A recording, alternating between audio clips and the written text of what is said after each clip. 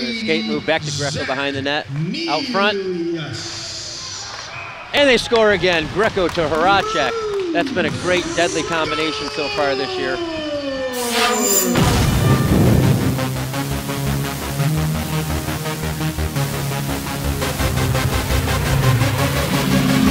year.